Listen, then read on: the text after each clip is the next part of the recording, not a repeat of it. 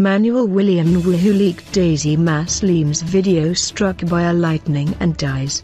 A Nigerian scammer, who was declared clinically dead for 20 minutes after being struck by lightning on Tuesday, is in hospital recovering.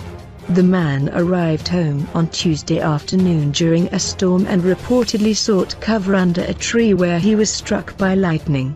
However, paramedics said on Tuesday that he can't move his legs, which is very bad because he might die. We don't know if the thunder is from God or man-made.